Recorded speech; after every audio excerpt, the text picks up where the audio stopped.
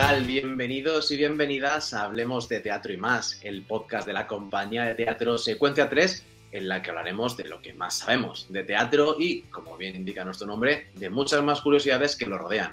Para los que no visteis el primer episodio o escuchasteis, os hago un pequeño recordatorio. Mi nombre es Ernesto López y soy ayudante de marketing y redes sociales en Secuencia 3 y a mi lado, esta vez eh, nos encontramos arriba como copresentadora, se encuentra Marina Feliu, compañera ayudante de producción de administración. En la pantalla, bueno, y en la pantalla grande nos encontramos a Manuel Eduardo Galán, escritor y autor de varias obras de teatro, vicepresidente económico de la Academia de Artes Escénicas de España y CEO de Secuencia 3. ¿Qué tal? ¿Cómo, cómo os encontráis hoy?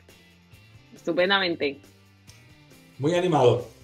Sí, no, seguro que sí, seguro que sí. Y además, en este segundo episodio que tenemos de Hablemos de Teatro y más, vamos a centrarnos eh, un poco más en este mundillo. Eh, sobre todo hablaremos de Secuencia 3, de las obras que ha llevado eh, a compañía a su gran éxito, pues como a lo mejor la, Gran de los Pasados, la Celestina, que tenemos anterior con Gemma Cuervo, pero sobre todo también hablaremos de lo que hay detrás del escenario. Alguna anécdota, curiosidad, que seguramente para la gente que está escuchando quiere escuchar algo más de, de esto del mundo de la farándula, quizás.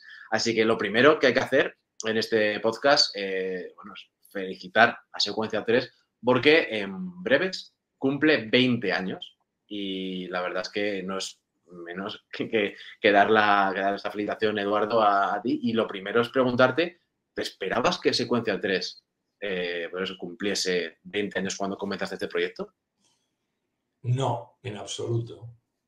En absoluto, no, no lo esperaba. Me parece increíble haber eh, sobrevivido a una crisis económica bestial, la de Lehman Brothers, que yo tenía muchas personas trabajando en mi empresa, tuvieron que irse una a una, quedarse muy poquitas, hacía cinco o seis producciones al año, quedarme con una sola y recuperar mi plaza de profesor de instituto, estar por la mañana dando clase y al mismo tiempo en los recreos, en la medida de recreo, en lugar de tomar un café, estar haciendo llamadas para vender bolos entre clase y clase, iba con el móvil ahí mirando los mensajes, contestando, una locura absoluta. Me parece imposible haber conseguido sobrevivir, sanear la empresa y tirar para adelante. Es que la vida y luego que la salud me haya respetado, es que no tienes ni puñetera idea de lo que te puede pasar. 20 años son muchos años en la vida. Mira, son los que tiene Marina prácticamente. Casi. Ah, Un poquito más, pero sí. Pero sí, claro, para cosas, 20 años. Ya. Y, y, cuando así, desde todo el tiempo que lleva Secuencia 3, ¿cuál es la obra que consideras que hizo como a lo mejor un punto de inflexión en la vida de Secuencia 3? Sí, es mi peor, mi peor obra, la que escribí con Pedro Gómez, que es profesor de, fue profesor de, de Ernesto en la Complutense. Sí, efectivamente. Pues, digo, creo que es la peor, es una obra que escribimos en 2003, La curva de la felicidad por la crisis de los 40 que, bueno, partió de una experiencia real, que fue la separación de mi primera mujer, eh, lo mal que lo pasé, lo horrible que fue, y, yo decidí escribir algo para divertirme y tomarme la broma. Entonces tenía un poco la historia planeada, esta anécdota la puedo contar sobre Pedro. Ya iba a empezar, yo trabajo como en series de televisión porque he escrito para series y me preparaba una Biblia, tenía la Biblia y la primera escena escrita. Entonces la mujer de Pedro, que por cierto murió hace un par de años con el COVID, eh, me dejó tres obras de teatro de, de, Pedro. Y a mí no me gustaron nada, porque Pedro era guionista maravilloso. Entonces, la vida es así de dura o, de bonita, no sé cómo decirlo, ¿no? Entonces quedamos un día, porque se empeñó, ya yo era muy amiga de ella, de su mujer, quedamos a tomar un café y que yo tenía que hablar. Entonces yo no hablaba nada, aquel café se fue alargando hasta que me pusieron vino, whisky, y ya empecé a hablar y le empecé a explicar que, que, que sus obras lo que tenían era un problema de lenguaje teatral, de estructura, que, era, que eran un poco antiguas, que, eran, que sonaba el teatro, pues ya había leído Arniches, de humor, eh, Muñoz Seca, Jacinto, Benavente, Javier Poncela, Miura, pero que ya se escribía de otra manera. Se fue hundido a casa, tan hundido que al día siguiente yo le llamé y le dije, Pedro, pero si tú escribes de puta madre, es un guionista cojonudo. O sea, que además yo no he visto guiones suyos porque he colaborado en alguna serie igual que él. Digo, mira, te hago una propuesta. ¿por qué no sigues escribiendo conmigo esta obra? Yo te mando la Biblia, tengo la primera escena hecha y colaboramos. Entonces me dijo que sí. Dije, ah, pues fantástico, porque yo no quería perder una amistad con su mujer ni con él, ¿no? Porque es que esto de opinar es muy duro, ¿eh? Por eso dices, déjate todas. Hay gente que se lo toma bien y gente que se cambia y gente que se hunde. Y Pedro se hundió con aquel comentario. Entonces decidimos trabajar de manera que creo que es muy, muy bonita, que era, yo tenía hecha la Biblia, bueno, pues de cada escena él corrigió algunas cosas y entonces quedamos, mira, vamos a hacer lo siguiente, por aquí sí no hay humillaciones. Tienes mi primera escena.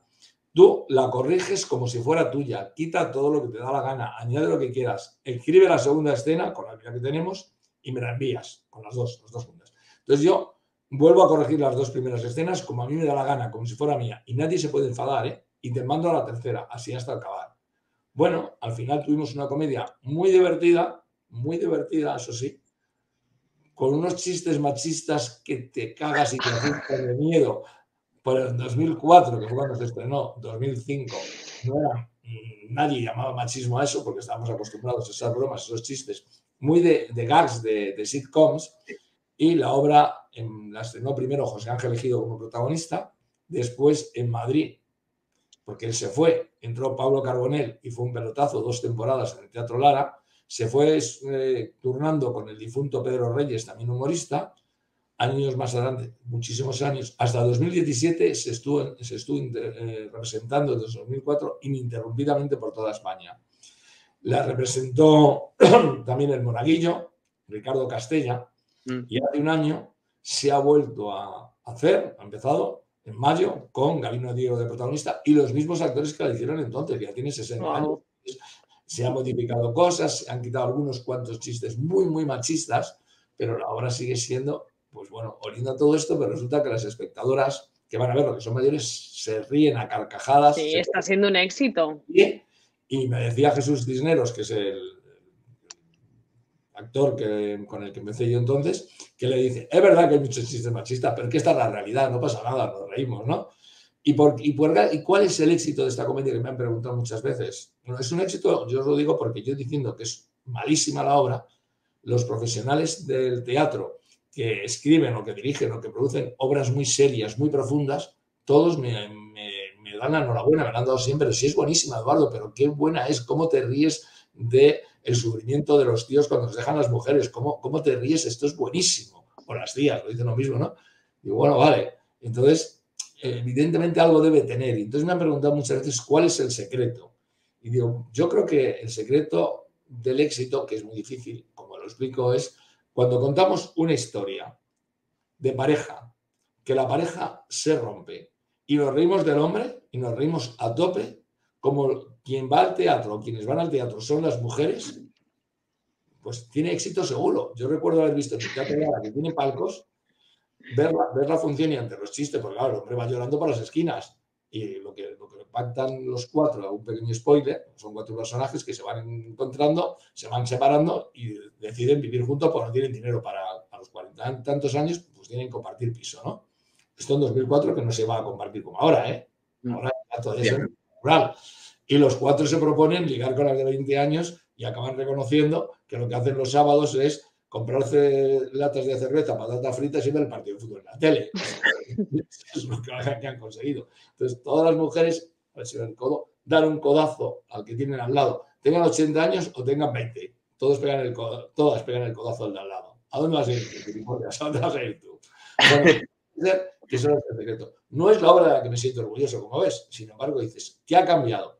pues que me conoce un montón de gente por este éxito. Ha sido uno de los éxitos del teatro en España del siglo XXI, pero uno de los grandes. O sea, mejor los cinco. ¿Cuántos años lleva haciéndose entonces? Pues del 2004 al 2017 te suman 13 eh, años y luego eh, un año más, 14 años. Y se Qué barbaridad, ¿eh? Se ha en América, en Grecia, en Chipre, en Estonia, yo qué sé, en muchos sitios. Wow. ¿Qué funciona? Pues funciona eso, eh, la relación de pareja tomada a cachondeo. Eso es lo que funciona. O sea, no tomarnos en serio. Y no tomarte en serio al hombre. Es decir, reírte, es que no quiero destipar chistes, pero es reírte, ¿no? Pero, pero tú, ¿qué hacías? Tú preparabas un guionista que. No, yo me dedicaba a escribir. Luego, cuando venía ella, que ella hiciera la comida, hiciera la cena y todo, pues joder, si vas a conservar. Todo eso hecho con mucha coña, movía, ¿no? O sea, el prototipo de tío machista que no sabe claro. mujer al lado que le cuide. Pero claro, todo eso hace reír. Al mismo tiempo muy tierno, ya nos puedo decir el final. El final es lo mejor que tiene la obra. Pues mira, con eso del final les dejamos a todo el mundo con el Con gusanito. la en Madrid a partir de enero del 24. Mira, nos apuntamos. en fechas. 24. Sí, sí. Y una de las cosas que nos hemos pues, fijado, obviamente, eh, con cada obra que haces, es que hay muchos artistas con los que has trabajado, obviamente, pero hay algunos que han repetido y te has sentido cómodo con ellos. Sí, Eh, ¿Nos puedes contar un poco sobre con quién te has sentido más a gusto, eh, por qué han repetido y sobre todo pues, un poco de este sector? Porque también los actores, algunos son complicadillos, no lo vamos a negar. Te cuento. Luego te voy a hablar de la obra de la que me siento más orgulloso, que, que lo debo decir, ¿eh? ¿Y por qué? Em, ¿Por qué repito con actores? Primero, yo entiendo la profesión y la empresa como un lugar de encuentro. Si las personas están a gustos, tienen que seguir trabajando. Tenemos que formar equipos. Y es muy importante. Si un actor es un tipo colaborador, si es una persona empática, si es una persona además simpática, las dos cosas, ¿no? Y buen actor, intento por todos los medios que sigan nuestros proyectos. Tienen que encajar por el perfil de edad, por el perfil, si es un actor cómico, un actor dramático, tienen que encajar. Pero, por ejemplo, te digo una persona maravillosa, que no es conocido, Francés Galcerán. Francés Galcerán trabajó conmigo en una obra que se llama eh, Hombres de 40. Me quedé con ganas de, se en el año 2008, cosas así, me quedé con ganas de trabajar con él hasta el año 2021, que entró en los Pazos de Ulloa. Y ahora va a volver a entrar en la regenta que estrenaremos en enero.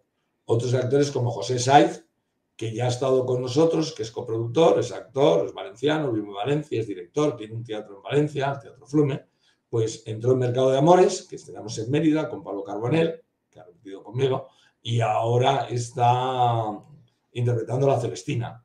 Creo que es importante no el concepto de compañía, que todo repite, no, no, no, sino que los actores, y lo hablaba con otro actor, Pachi Freite, lo hablaba eh, hace un par de días, tomaba un café con él, que es que como en Secuencia 3, es un actor que protagonizó El Comisario, que hace giras, nunca me han tratado igual de bien. Digo, es que yo creo una cosa, no lo creo el teatro como un negocio. Evidentemente tengo que sacar dinero porque si no cierro, pero Claro. creo que es muy importante que toda la gente se sienta cómoda. Digo, yo soy muy duro negociando los sueldos, y él lo sabe, pero sin embargo, y tú Marina lo sabes, si hay que, si las dietas que son bajas, hay que ir a ciudades donde los hoteles son carísimos y más ahora que se han disparado, pues creo que hay que pagar a los hoteles para que estén cómodos, para que estén bien y hay que llevarles en los mejores trenes posibles, en las mejores condiciones posibles. Es decir, creo que es muy importante este concepto de humanidad, porque en el teatro la gente ve lo del relumbrón, qué bonito la escena, pero no es duro irte de tu casa constantemente los fines de semana cuando tus seres queridos, tienes hijos, tus hijos, si son amigos, padres, son cuando descansan, cuando puedes estar con ellos, cuando puedes ver a los amigos. Justo es cuando tú te vas de gira y no los ves. Al final pierdes mucho de la vida, ¿no? O sea, estás Claro. perdiendo tus afectos y estás trabajando. ¿Qué menos que la gente sea agradable? Entonces, mira, me pasó una anécdota, que me lo vais a preguntar, pero os lo cuento, con, tiene que ver con esto. Teníamos, estábamos preparando una obra, no puedo decir el título por si no se sacaría cuál es, una obra importante, y tenía ya a la protagonista, una mujer que tenía 30 y muchos años, guapa, muy conocida. Entonces yo le prometí que para el reparto, que eran cuatro actores, antes de cerrar el contrato con nadie, le diría quién es, no para que me diera permiso, sino para que hubiera buen rollo en la compañía, que es lo que busco siempre. Quiero que haya esto por esto que estoy diciendo de las convivencias fuera de Madrid. Y entonces le doy el nombre de una actriz para el personaje, femenino y oigo el silencio al otro lado del teléfono. Oye, voy a, voy inventarme un nombre. María, no se llama María, María, y María le contestaba, ¿estás ahí? Sí. Ah, vale, pero ¿qué te parece? Silencio. Oye, ¿qué, ¿qué te parece esta actriz? Silencio. Digo, ah, que no te gusta, que te parece mala actriz. No es eso. ¿Vale? Si no es eso, ¿qué es? Silencio. Yo sigo. Soy un curioso impertinente o impenitente, no sé qué decirlo ya, y un ingenuo absoluto que no me daba cuenta de lo que estaba preguntando. El caso es que ya seguí preguntando, no, no, no reproduzco toda la conversación porque tardé, ¿eh? Hasta que, a ver, Eduardo, coño, que se ha acostado con mi marido, lo sabe media profesión. Y digo, vale, vale, vale, déjalo, déjalo, déjalo. déjalo. Vaya. Pues, ya, es decir, anécdotas pueden ser distintas, pueden ser otras de mala hostia, de yo qué sé. Pero lo que- por eso quiero siempre intentar que los actores se vayan, se- cuando con- funcionan bien, continuar con ellos. ¿eh? Claro, y sobre eso que dicen de personalidad de actor que puede ser complicada o a lo mejor un poco excéntrica, ¿tú qué opinas? El mundo está lleno de personas complicadas. El primero yo, o excéntrico, como somos todos. Es, verdad que el actor está más expuesto que en muchas profesiones, porque enfrentarte a un público te da miedo escénico, es que eso es difícil, es que el trabajo del actor ya estás, del actor de teatro, ¿eh? no del actor de cine y de televisión tienes a un público que te está mirando, como el trabajo de un profesor, ¿eh? Igual. Es, muy complicado esto. Entonces, esas personalidades, personalidades a veces son difíciles. Tienen sus manías, sus rarezas. Luego algunos son muy exigentes con los técnicos, por ejemplo. ¿Qué problemas hay que, que nos oiga a lo mejor no lo conoce? Las luces están todas preparadas, los focos, para que iluminen de una manera determinada. Y hay unas marcas donde los actores se tienen que colocar en el escenario. Y ya lo saben cerca de, a un metro del sillón, a 50 centímetros de la silla, todo esto está ensayadísimo. Y ese día, por lo que sea, hacer el montaje de luces en los bolos, el técnico algo lo ha montado mal o no tenía suficientes eh, focos y medios de, iluminación y el actor se coloca un poco en la sombra. No, la marca suya no coincide con el foco. El pollo que montan algunos después a los técnicos es espectacular. Y los técnicos trabajan 12 horas, ¿eh? prácticamente. Empiezan a montar a las 10 de la mañana y hasta que desmontan es un horror. Bueno, hay actores que son terriblemente insoportables con, estas cosas. Y otros al contrario, que son muy comprensivos, le dan un abrazo, no te preocupes, mañana mejor, ¿vale? Pues hay de todo, ¿no? Claro. Y luego, el medio escénico que os he dicho antes. Pues como me vais a preguntar una anécdota así de estas, os la puedo contar, que esta es distinta. Claro, por favor hicimos de Buscando el Título una obra mía que se llama Historia de dos. El protagonista era Jesús Bonilla, que volvía, ¿sabéis quién es Jesús Bonilla? Los Serrano. El, sí, Los Serrano, sí, sí. hermano de Antonio Resines, que cortaba jamón. Sí. Efectivamente. películas fue el primer director, también como director, que dirigió en el Kremlin, en Moscú, después de, la caída del, comunismo allí en Rusia, en una producción de Enrique Cerezo, del presidente del Atlético de Madrid, bueno, el hombre está muy hecho a todo, ¿no? Entonces, vuelve al teatro, estrenábamos en Albacete, llevaba 17 años sin hacer teatro. La noche anterior en un restaurante había demostrado lo fuerte que estaba y lo bien y animado que estaba y tranquilo que se puso a hacer en un, en un restaurante que reconocía a todo el mundo, claro, porque era muy famoso. Estoy hablando del año 2011. Imaginaos que, que, la serie se veía muchísimo, la de los Se van a hacer 100 fondos para demostrar que lo bueno. Pues todos tranquilísimos. Llega a 100 fondos, ¿eh? No es... Sí, no, es cosa, no es cosa fácil. Y no es joven. Y entonces estamos para empezar el estreno. El director era de Albacete, el padre del director era el presidente de Caja Rural de Albacete, con lo cual estaba allí la alcaldesa de Albacete, el presidente de la Diputación, el consejero de Cultura, todo Dios estaba ahí. 8 de la tarde, no se ve el telón, 8 y 10 se sigue sin abrir el telón, preguntándonos qué pasa. 8 y 20 llega un técnico a avisarme a mí y al director y nos saca. Nos dice que Jesús está tumbado en un sofá en Camerinos, que se ha tomado no sé cuántas pastillas. Vamos a verlo y con la voz pastosa, me he tomado tres tranquimacines. Bueno, tres tranquimacines. estaba cao por completo. Le metimos debajo de la ducha durante un cuarto de hora y tuvo que salir al escenario drogado, perdido y a un ritmo alucinante. Sintió pánico escénico, o sea, alucinante, pero lo sintió. Esto es real. Por eso yo creo que hay que entender que es una profesión donde hay más gente rara o excéntrica que en otras, porque es que es... Y cada día, es que cada día vuelven a tener que salir. Y cada día la función es diferente, no es exactamente igual. ¿Por qué? Porque te pasan cosas. Que has tenido un problema familiar grave, tienes un familiar hospitalizado muy grave y tú estás haciendo una función y por no comentar actores que han hecho funciones como el padre, la madre, el hermano, la mujer, la mujer, el marido, el hijo muertos y han hecho la función. Tienes problemas económicos, o o llegas después de una bronca monumental con, o con tu compañero de escenario, te has peleado con él y tienes que salir a la escena a hacer lo mejor posible. Es muy difícil eso, ¿eh? Es muy, difícil. no me lo puedo imaginar, la verdad. O sea, que hay que entenderlo. Sí, tiene que ser muy complicado el, sentirte expuesto todos los días de tu trabajo y encima eh, no solamente expuesto, sino que encima vas a recibir una crítica rápida y directa con aplausos o, lo que quieran hacer.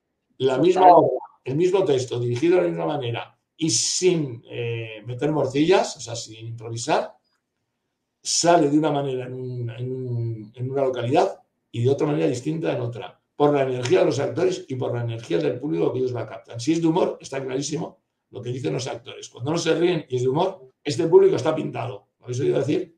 Sí. El público está pintado, de que es mentira todo. Claro, eso les crea una inseguridad absoluta. Totalmente. Joder, no se ríen con el chiste, no se ríen con este otro, a ver qué coño hacemos que esto no va. Y luego, si es un drama, empiezan las toses. Cuando no tose el público en un drama o en un thriller, es que está totalmente enganchado. Entonces, los actores perciben esa energía. Yo que he sido profesor, es lo mismo. Cuando tienes a los alumnos enganchados, todo te fluye muy bien. Cuando ves que los alumnos sacan el móvil, se distraen, ya la clase se ha ido a hacer puñetas, has descolocado. Los actores Pero, Eduardo, ¿eso es cierto? O sea, cuando la gente está enganchada a la obra, no tose. la tos es como algo involuntario, ¿no? No, no, no se tose mucho menos. La tos es la tos, que no es de enfermedad, que es la tos sí. que estamos formando, es un tic nervioso. Qué fuerte. No es la tos del que está catarrado de verdad, que además desde lo del COVID no se va al teatro. Es una tos que es contagiosa, la gente va tosiendo, porque no está totalmente enganchada. Y eso los actores lo perciben por experiencia. Entonces, esa función sale siempre mucho peor. Mm. Pero el minuto uno. Los jugadores de fútbol ¿Os gusta el fútbol? Sí, sí, yo soy bastante seguidor del fútbol. Yo soy más de baloncesto. Eres del Madrid, ¿verdad, Ernesto? Sí, sí, soy del Madrid. sufrimos con la vuelta del City Real Madrid. Porque desde el minuto uno, los del Madrid no se, pegaron, no, se conectaron al partido como lo hicieron en el Bernabéu. ¿Por qué? No lo sabes, pero pasa algo en que eso ocurre y ya a los cinco minutos ya sabes que ese partido no va a salir bien. Mm. A pesar de los milagros del Madrid. Bueno, esto es así, el teatro es lo mismo. Esos, esos futbolistas que podían ganar, que podían jugar bien, han sentido esa presión en esos cinco primeros minutos porque el rival les ha embotellado y ya se acojonan y no avanzan. Bueno, los actores son lo mismo, son igual de carne que los, futbolistas o que los jugadores de baloncesto. Es igual, somos seres humanos todos. Claro. Justo hay un elemento común. No sé si era en Hamlet, me parece, y perdonad, el que decía, si te pinchan, si me pinchan no sangras, si te pinchan no sangras, si te pellizcan no te duele. Pues somos todos iguales, ¿no? Pues los actores son iguales. ¿Qué serio me puesto? Oye, perdona. No, no, no, para nada, para nada. Además estamos eh, justo comentando todo esto que al final el endulzarlo con estas anécdotas yo creo que al final lo hace todo mucho más ameno, divertido y, sobre todo estamos eh, por eso, yendo un poco, eh, navegando hacia... Ah, antes te decía, quería decirte de qué obras me siento más orgulloso. Sí, justo, esa es la pregunta que iba a hacerte ahora mismo. Y te voy a decir por qué. Te voy a decir tres títulos. Mujeres frente al espejo, Maniobras y La profesora. Y esto me lo hizo ver Juan Carlos, un amigo de Alberto, que Marina conoce, del colectivo LGTBI que preparan el orgullo, porque eh, vio a la profesora y salió entusiasmado. Entonces, Mujeres frente al espejo se estrena en el año 1996 la protagoniza Blanca Portillo cuando no era Blanca Portillo, o sea, a partir de ahí fue Blanca Portillo. Terminamos con 10 minutos, de saludé, claro, con el público puesto en pie, 10 minutos de reloj, y es la primera vez en que en España se representa una obra de una historia de amistad entre dos mujeres que está encubriendo, porque no eran épocas de decirlo claramente, una historia del lesbianismo.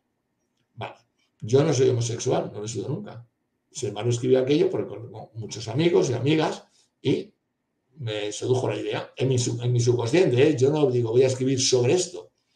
La segunda obra, que dicen los críticos que es la mejor que he escrito, se llama Maniobras, año 2007, antes de la manada, antes de los violadores estos de Pamplona, pues estrené una obra basada en un hecho real, que esto es conmovedor, de una mujer soldado violada por su teniente. Real, Dolores Quiñoa, si se busca, aparece. Ella, al mismo tiempo, hay una, relación, historia muy complicada. La pareja de esta, de esta chica, de esta soldado, esto es ficción, es un joven actor que se presenta en unas pruebas de teatro para hacer un personaje, el director es gay, y le hace un chantaje sexual que la acaba aceptando la misma noche que ella la violan. Entonces, bueno, es muy complicado, es ver el chantaje sexual y ver la violación. No podéis imaginaros lo que pudimos, pude sentir, lo que sintió el director, los actores, Un día lo hicimos en Madrid solo cuatro días, dos lunes y dos martes, por capricho de mostrarla, ¿eh? Nada más. Porque perdimos dinero. Era difícil venderla porque es un drama duro que quiero volver a hacerlo. Entonces, a mí me llamó a la oficina Dolores Quiñoa. Yo me pongo al teléfono, me lo pasan, hablo con ella y yo estaba acojonado. ¿Qué me iba a decir? Oye, mira, que es que sé que esto lo vas a hacer en Madrid, que yo tengo mucho interés en verlo, me cuenta su vida, no tengo dinero, vivo en Galicia, ¿me puedes pagar el billete de un tren? Sí, sí, yo dormiría en casa de una amiga. Bueno, vino a ver la función, estábamos todos temblando. Entonces la colocamos en pasillo, hacia atrás, como ya nos pidió, para poder salirse si no lo resistía, porque es que en la obra en escena se ve una violación. Es muy duro. Y era el, lenguaje del teniente. Yo me había documentado muchísimo con, todo lo que se había publicado. Que además, como ya no denunció a su teniente esa misma noche, sino que lo denunció tres días más tarde, perdió el juicio porque no había pruebas, no había testigos ni pruebas. Y lo que nos contó fueron dos, bueno, varias cosas. Una, que estaba ya dada, no sé cómo se llama, de baja permanente, no podía trabajar en su vida, tenía 30 años, eso le pasó con 20. No podía eh, resistir que un hombre le tocara con un dedo el brazo, no podía, estaba totalmente castrada para el amor, para el sexo, para todo, estaba totalmente hundida. Y luego nos pidió que por favor que representáramos esa obra por todos los sitios donde pudiéramos.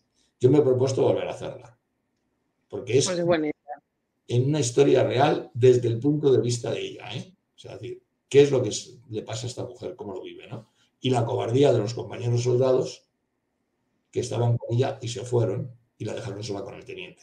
Bueno, esto es una historia. Y la tercera es la profesora, porque toca, se estrenó en Nueva York, ya habéis visto los dos, pero hay temas de relación hombre mayor, perdón, mujer mayor, hombre más joven, relaciones educativas, problema de una hija y el problema de la identidad, sexual, de la transexualidad. No son tres obras que yo he escrito desde el corazón y no para ganar dinero, escritas desde ahí, ¿no? Entonces, tocan temáticas de los débiles, de los desprotegidos de la sociedad, ¿no? Entonces, en ese sentido, y que además están bien escritas. Entonces, pues, igual que escrito la curva de la felicidad con ganas de divertirme, bueno, estas son. La, eh, la profesora tiene mucha parte de comedia, pero tiene mucha parte profunda. Bueno, pues son obras de las que me siento orgulloso.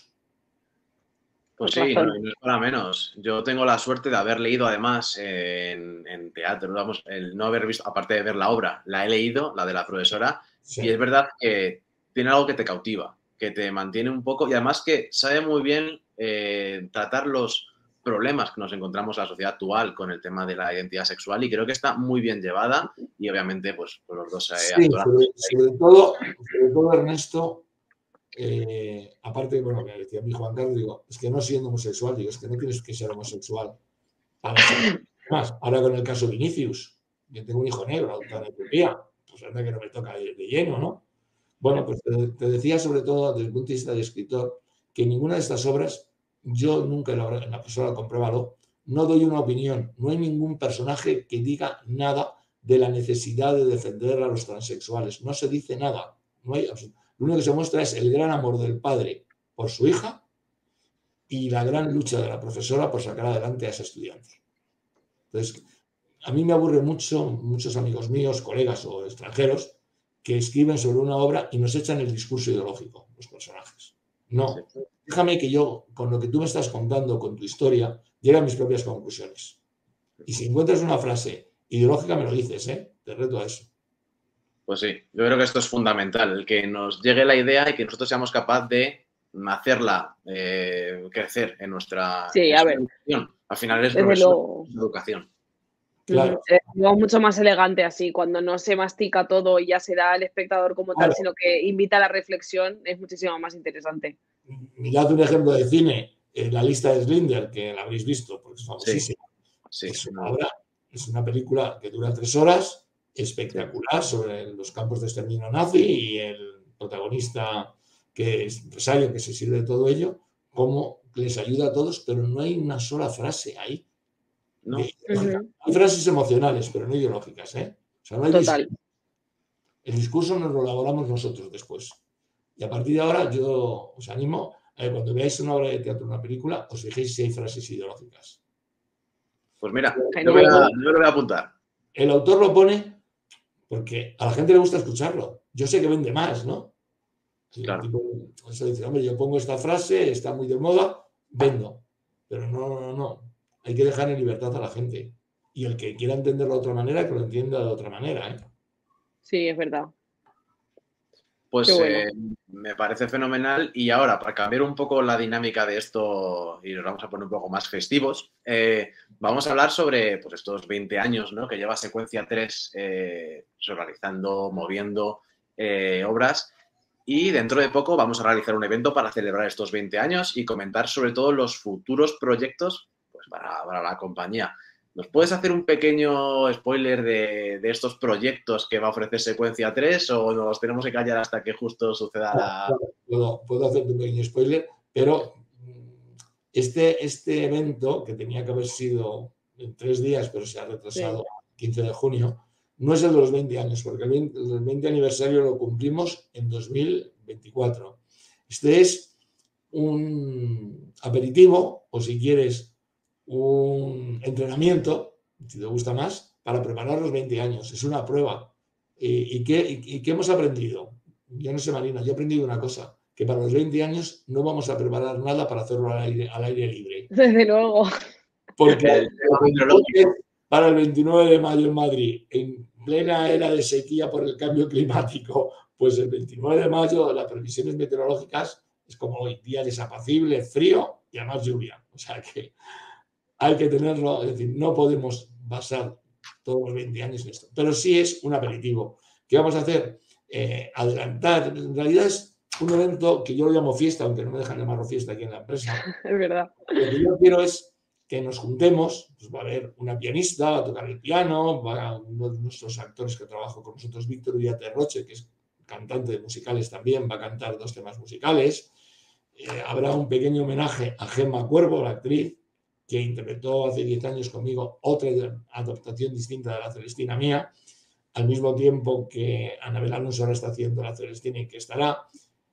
Bien, pues ahí que lo que queremos es juntar a los actores importantes, coproductores, gente muy próxima, secuencia 3, todos muy conocidos, para que se relacionen, lo que se llama networking, ¿no? O sea, que puedan interrelacionarse, conocerse mejor, hablar en torno a este pequeño homenaje que no durará más de una hora, es decir, la música, el el speech que yo suelte sobre los espectáculos que, vamos a presentar, más luego dos horas con música de fondo y con un cóctel. Que haya más relación. A mí me gusta crear estos, no me gusta emplear la expresión lobby, pero bueno, que haya estos grupos de personas, de, con empresas o actores que podamos trabajar juntos, que nos llevamos bien, que nos conocemos. Entonces, a mí me gusta decir siempre que a mí me gusta ser pegamento. Que uno mm, no quiero decir cemento ni hormigón armado porque eso ya une inevitablemente, ¿no? El pegamento puede despegarlo, si no estás a gusto te despegas, pero sí ayudar a, pegarse, ¿no? La gente, a pegarse de unión, no de golpearse. Entonces, ahí presentaremos los proyectos que estamos distribuyendo, como es por fin solo un monólogo divertidísimo de Carles Sanz, el actor del tricicle, tricicle en catalán, que estará en el otoño en Madrid, pero está de gira, Presentaremos también la curva de la felicidad con Gabino Diego, que la distribuimos, que es 50% obra mía. Presentaremos también un proyecto de John Lars que distribuimos, que viene el rey, una tragedia sobre el rey emérito Juan Carlos I. Presentaremos también los cuatro proyectos en los que Secuencia 3 está como coproductor y estoy yo como autor, como adaptador. Por un lado, eh, la profesora, que lo hemos dicho, que soy autor. Por otro lado, la Celestina, de la que soy adaptador por otro, y Ana Alonso es la protagonista de la profesora Isabel Verdad, La Hierbas, la ciudad de las Hierbas de no hay quien viva. En tercer lugar, La Regenta de Clarín, de la que soy adaptador y coproductor, y estamos preparando el reparto, está sin cerrar. Y finalmente, Las Guerras de nuestros antepasados, que sigue de gira y volverá a Madrid, de Miguel Delibes, adaptación mía y coproducción con Pentación. Estos son los proyectos que tenemos en marcha y alguno más que iremos adelantando, pero que no se puede adelantar todavía. Iremos comentando. Pues sí, la verdad es que suena todo interesantísimo. Intentaremos colgar bastantes publicaciones que la gente se atento a este día. Y no hablaremos de eventos en los que estamos también metidos y una empresa nueva que estamos creando entre varios para hacer eventos. Eventos importantes, muy grandes. Eso, eso ya lo, iremos comentando en siguientes podcasts. Para que, la gente, que la gente tenga ahí algo de, ganas de volvernos a escuchar y volver a. Que en el podcast del otro día te decía, secuencia 3, ¿dónde va a estar? Haciendo teatro, teniendo un teatro, haciendo eh, también eventos haremos comedia, haremos musicales también. Estoy preparando un proyecto musical para más adelante. Haremos artes plásticas y haremos también música. Pero bueno, paso a paso, todo tiene que ir dándose pasos. Pues sí, sí, me parece súper súper interesante eso, que al final... Así se hacen las cosas. Eso es. Poquito a poco, como diría el solo, partido a partido, ¿no? Y, sí, somos del Madrid, ¿eh? somos del Madrid, pero bueno, al final, mira, eso, eso nos hemos quedado del equipo de, la capital, del, otro equipo de la capital. Sí, sí. Así que nada, Marina, no sé si quieres añadir alguna cosilla más. No, que muchísimas gracias a los dos, la verdad. Así, en plan, a pesar de que podamos tener un guion así, que vayan saliendo cosas tan interesantes, me está encantando. La verdad me estoy haciendo yo fan del podcast. Yo, quiero preguntarle a Marina. Marina, a ti, de todo lo que hemos comentado, ¿qué es lo que más te ha llamado la atención o qué es lo que te hace más ilusión? No sé, dinos algo de ti, de lo que tú piensas. Pues mira, te voy a decir una cosa que no es por ilusión, pero me ha llamado mucha la atención porque no sabía lo que era. Cuando has estado hablando de eh, un concepto como Biblia, eh, hablando de lo de la curva de la felicidad, me podía imaginar qué era, pero no sé exactamente a qué te estabas refiriendo. Será como eh, ah, la idea en general. Te explico. ¿Qué es una Biblia? Y yo escribo siempre con una Biblia. Una Biblia es un documento en, el que haces el tratamiento de lo que va a ser tu película, tu serie o tu obra de teatro, en mi caso. Mm. serie. ¿Y qué es lo que tiene que incluir? Fundamentalmente, ¿eh? una sinopsis, tiene que tener los personajes con una descripción muy detallada, desde el físico aspectos eh, emocionales, un recorrido vital de ese personaje de dónde es, el arco de transformación, las relaciones entre los personajes, los espacios, en televisión y en cine, claro, hay muchos espacios, en teatro menos, los espacios, la evolución del tiempo, si todo transcurre en una hora y media o si hay flashback, todo lo que tiene que ver con eh, lo que está haciendo, más luego una estructura escena por escena. Escena una, o secuencia 1, que es en, televisión y en cine, es simplemente cuestión de terminología. Igual que decimos guion en cine, decimos texto u obra en teatro. Entonces, secuencia 1, entonces tienes que poner, en el caso del cine, interior o exterior, día, noche, lugar donde transcurre y una breve sinopsis de los personajes que aparecen en breve sinopsis. En el caso del teatro, pues parecido. Entonces, con eso ya tienes muy claro para dónde vas y a dónde, y a dónde quieres claro cómo quieres ir y vas corrigiendo y empiezas a trabajar sobre esto. Luego a lo mejor vas cambiando cosas, pero ayuda mucho el trabajar sobre una Biblia.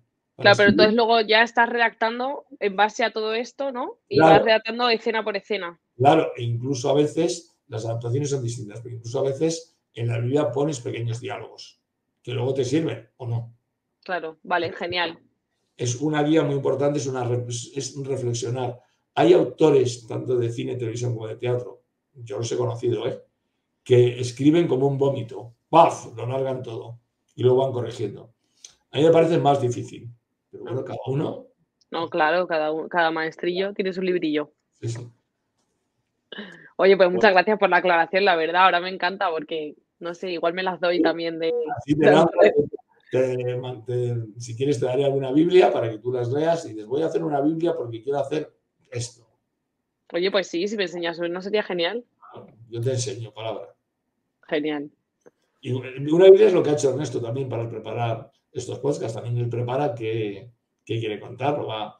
Incluso también debería tener un, minutaje, ¿no? Dice, bueno, pues esto, esto tendría que durar tanto tiempo, este fragmento, este otro. Pues eso es hacer una Biblia. Es, es, verdad que, se, que en todo, obviamente, todo proyecto necesitas una Biblia, como comentas, pero muchas veces, y sobre todo en un formato como es este, tan dinámico, que muchas veces, eh, como puede surgir en un... Es que no, quiero decir reality, porque jamás se podría parecer esto a un reality, pero no dejas una conversación, una hablar sobre nuestras anécdotas, sobre nuestras cosas.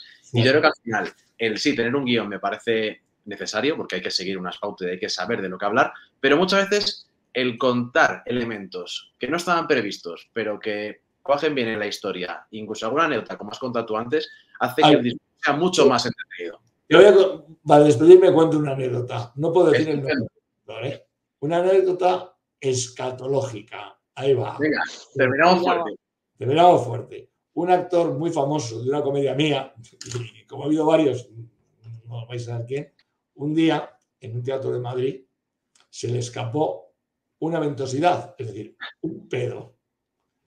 Los demás actores se meaban de la risa Y el público, en lugar de enfadarse, empezó a aplaudir para que el pobre actor que estaba bochornado se levantase. el público puede ser increíble. Cuando quiere a un actor, le perdona todo, todo. Y continuar la obra después bien. Pero imaginaos que el público hubiera dicho, guarro, sé qué, vete. El actor Ostras, no. Por completo. Qué bueno, la verdad, porque de generar un momento incómodo a generar un momento bonito, pues fíjate. Tenía gases y en una postura que se agachó, cataplum. Bueno, mejor fuera que dentro. Y, otra, anécdota que sí os puedo contar, porque está es más fácil. A Gemma Cuervo, en el estreno de La Celestina, eh, llevaba pinganillo y entonces eh, el, ayudante de dirección que le estaba dictando el texto, como ya no lo pillaba, se acercó al entre cajas y dictó la frase, que la oyó el público. Entonces se echó a reír y todo el público empezó a aplaudir. Bueno, son curiosas del teatro que pasan, que no tienen ninguna importancia y que lo que demuestra es que el público es auténticamente maravilloso. Qué bueno. Claro, encontrar gente orden en el público, porque la gente va a pasarlo bien. Sí, claro. Eso es importante. Que la gente que va al teatro es porque la gente quiere pasar un buen rato, quiere. Y porque, adora, a, esos, esos, actores que los conoce de toda la vida. Por eso reacciona sí. Eso es. Menos pues Bueno, yo creo que con esta última anécdota eh, nos vamos a despedir de este, de este segundo podcast de Hablemos de Teatro y más, que ha sido un placer compartir con, con vosotros este, este pequeño espacio de tiempo y que, oye, que esto no termina aquí, que seguiremos próximamente, ¿no? Claro que sí. Muy bien. Esperemos que sí. Así que nada. Muchas gracias por todo. Efectivamente, pues gracias y nos vemos en el siguiente. Un saludo a todos. Hasta luego. Hasta luego.